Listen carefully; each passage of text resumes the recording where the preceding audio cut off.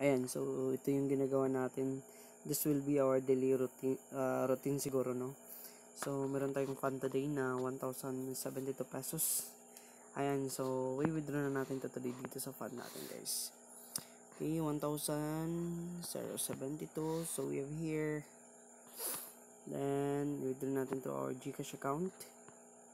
Click natin yung withdraw now. So, meron tayong marireceive na 900.48 pe- pesos. So, click yan. Then, as of today, meron siyang status na withdrawing. Then, makikita natin dito mamaya, okay, meron tayong 0.46 na lang na naiwan sa fund natin. Yan. So, medyo matagal yung, mm, di ba? Medyo matagal na ako dito guys sa Mazama at wala talagang paltos dito yung payout natin. So, as of today, ayan, receive agad natin yung 900 uh, 900.48 pesos. Ayan, that's it. So, ganito kaganda dito yung system ng Mazama guys. Ayan.